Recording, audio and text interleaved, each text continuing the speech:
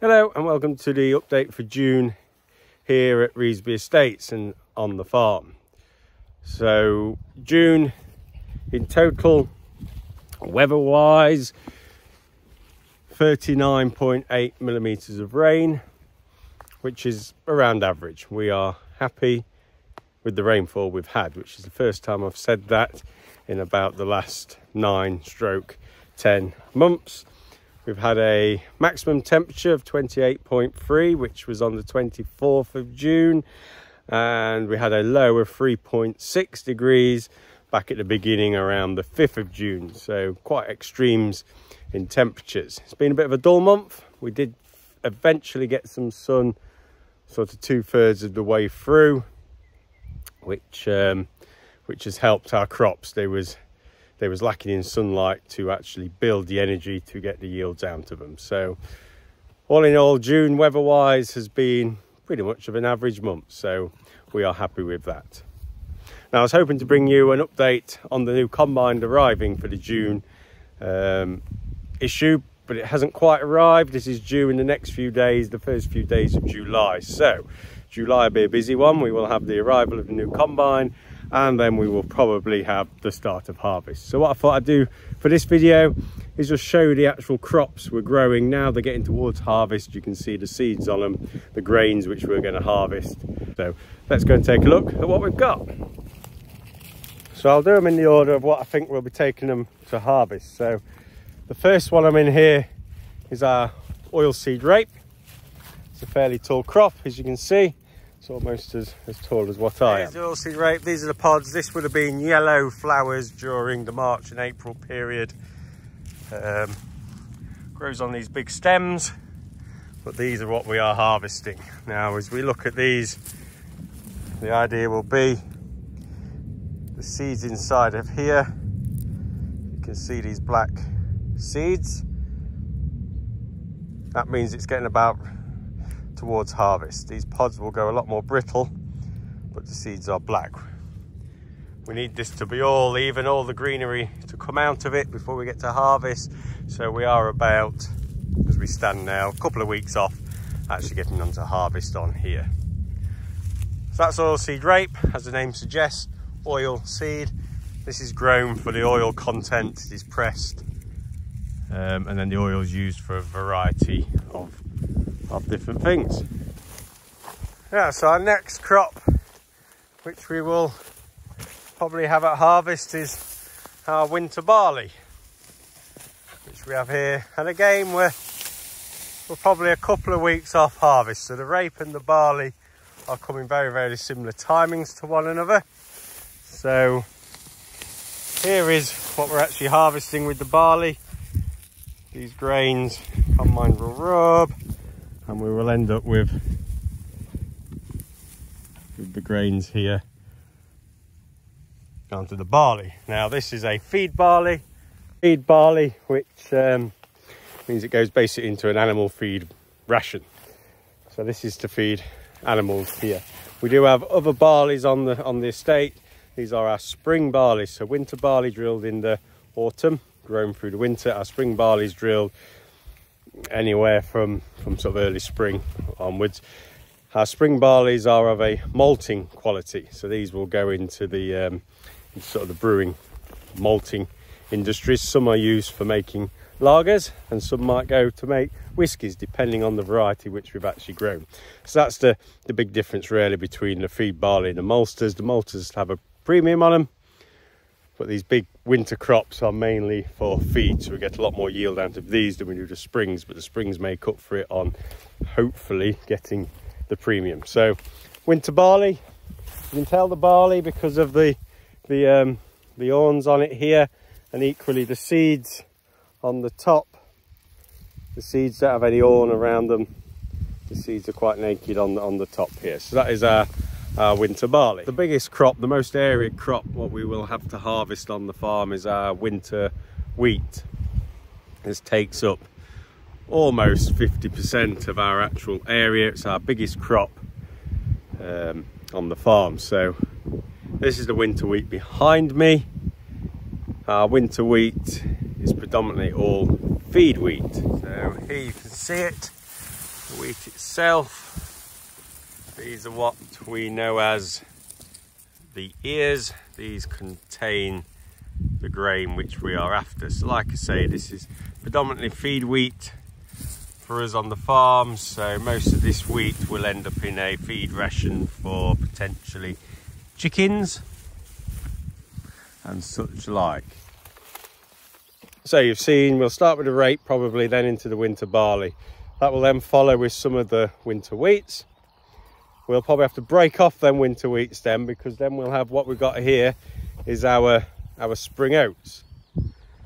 So here you can see the spring oats still looking very green at the moment, but they will change rapidly. These will come to harvest mid-August onwards. So they've still got another six, seven weeks to go. Um, this is the oat growing within here. You can just see it sat inside there. These are all being grown for human consumption oats. So these will go off to a mill and either potentially like your porridge oats you eat in the morning, or they can get ground into flour and used as bases in all sorts of things getting very, very popular now. The demand for oat is, is growing all the time. Very important break crop for us as well. Good at cleaning weeds up out of the system without having to use um, as much chemistry. So very good crop.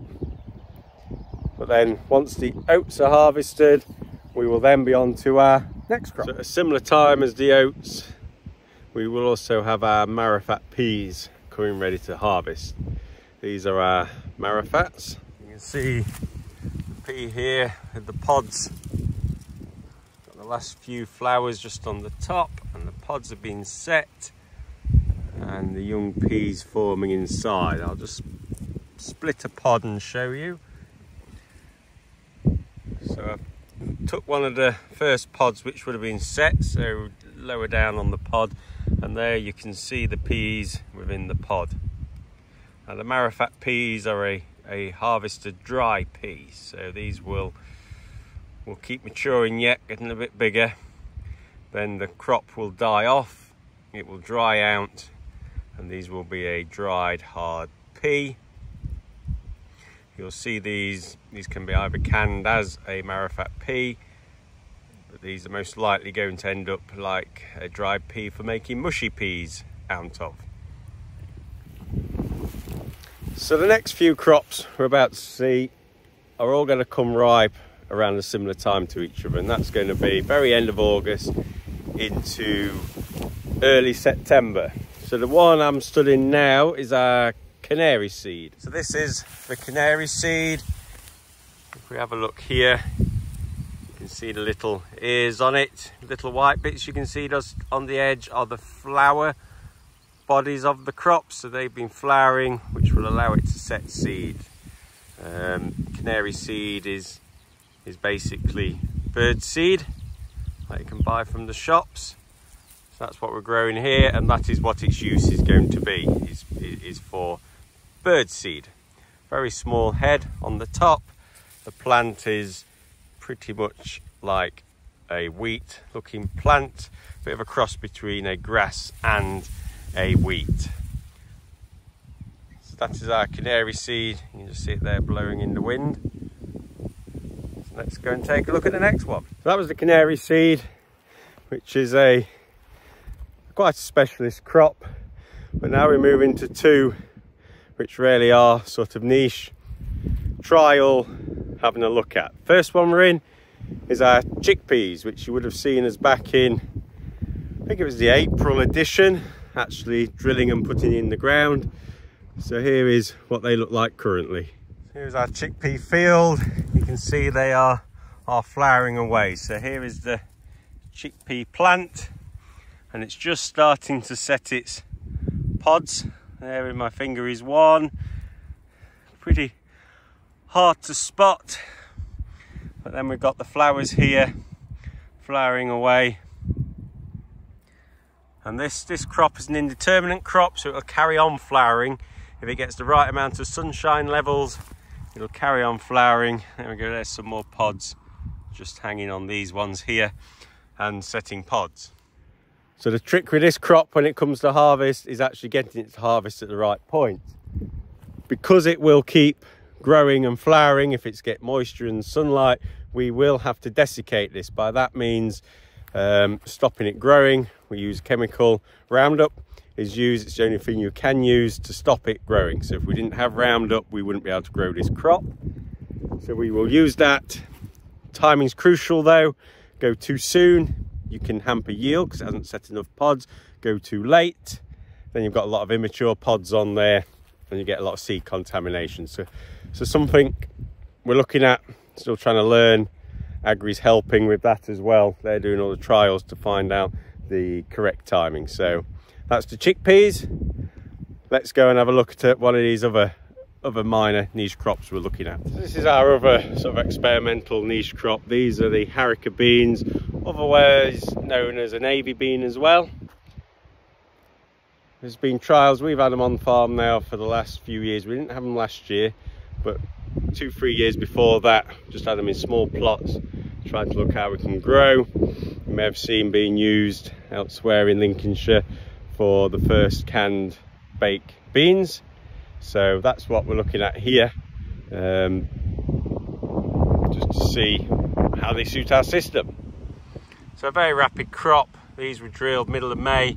These will come to harvest around sort of end of August time is the prediction. You can just see on here now the flowering buds coming. Very bushy plant. The problem we're going to have with these, and this is why they don't necessarily suit our conditions, is very long pods. There's not a lot of height. You can see here we're going to get some flowering buds very close to the ground, an inch and a half, two inches off the ground. So the pods will be on the floor. The challenge with them is, is how you get all them pods into the combine to get the beans out without leaving too much of the pod behind and therefore a bean.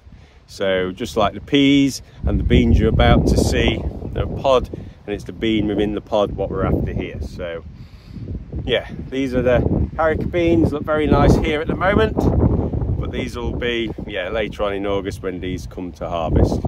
So let's go and take a look at our final crop. Probably the last crop we will be harvesting is our bean crop. So we have two types of beans.